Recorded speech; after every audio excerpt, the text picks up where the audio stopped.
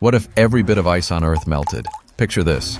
Antarctica stripped of snow, Greenland without its frozen cover, and the Arctic reduced to open sea. If that happened, global sea levels would rise by about 66 meters. New York City would be completely submerged and Florida would almost vanish. Parts of Los Angeles and San Francisco would become isolated islands, while the eastern coast of South America would disappear beneath the waves. Over in Europe, countries like the Netherlands and Denmark could be wiped out, and sections of the United Kingdom would be underwater. Venice would cease to exist, and cities like Barcelona and Rome would face severe flooding.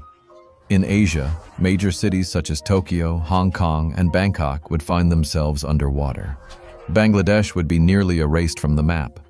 Africa's coastline would be redrawn, and Australia's major cities could vanish like they were never there. And that's just the start. Without ice to bounce sunlight back into space, the planet would heat up rapidly, triggering droughts, flooding, and wildfires.